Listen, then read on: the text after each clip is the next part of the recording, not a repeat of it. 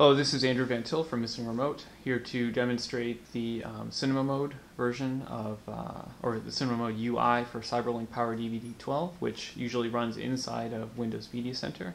So as we can see, it creates its own uh, tool strip, much like the other um, Blu-ray software programs that are available for the PC. So we're going to go ahead and launch it. And I, since I already have um, a disk queued up, it's going to um, automatically start to play it. Um, as we can see in a moment here, um, we should get a dialog that gives us the option to change the refresh rate to match the refresh rate of the disk. Um, like the standalone version, this um, doesn't really choose the right one, but it's good that the feature exists. Hopefully they can get that sorted out. since that's not actually what I want to do quite yet, we're just going to hit back so we get back to the to the UI. So as we can see, here's the cinema mode. Um, you have the option to um, select movies.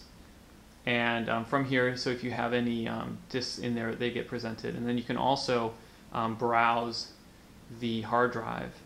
And um, like the standalone version, there isn't an option, or network browsing doesn't work the way that it ought to. but you can map your map drives show up, and from here you can browse into your map drives and select uh, BDMV or Video TS folders. So this is a really nice feature. Um, so you don't need to use uh, a launcher tool like My Movies or um, Media Browser if you don't want to. So I'm going to cancel that and we're going to take a quick look at the settings menu. Um, so from here we can you know select how we want our 3D to work. Um, there isn't an option to just play um, 3D and 3D and 2D and 2D, so you kind of have to flip it back and forth, which is um, kind of annoying. Um, oops, hit the back button there, and it took me all the way out, which is also kind of annoying when I just wanted to go back to a different screen. So let me stop this. We'll get back to our settings. But so from here, we can choose what kind of display we have um, and some other options as well.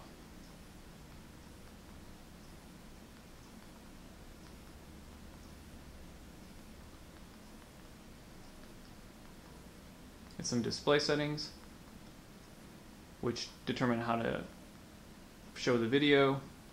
Audio, which is where we would choose um, what cable to use, and then how we want um, the audio to get handled, either bit streamed in this case, or um, as PCM.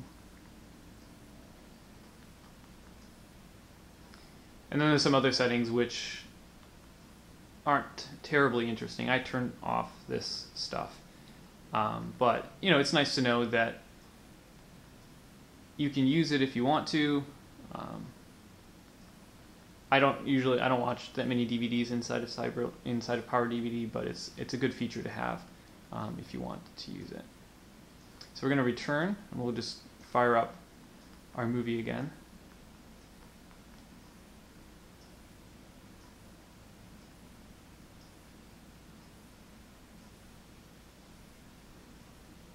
So we're going to switch the refresh rate this time. and then go into our movie.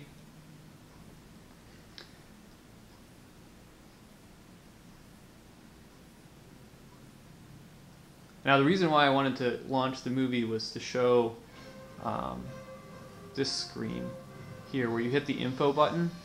You It gets handled both by Media Center and by Power DVD. So if you click anything but more info, it actually takes you outside of Power DVD, which is a little bit annoying you can click the more info, and since I let it go back, I lost it.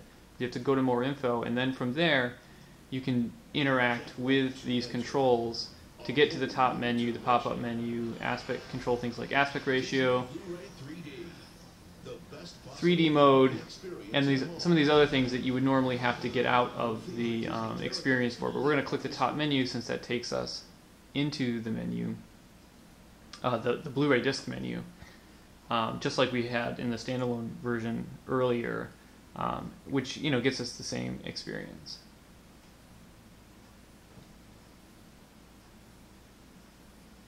Okay, that's all I was going to show for this. Um, we'll have one more video demonstrating the 3D capabilities of uh, PowerLink DVD12, or CyberLink Power DVD12.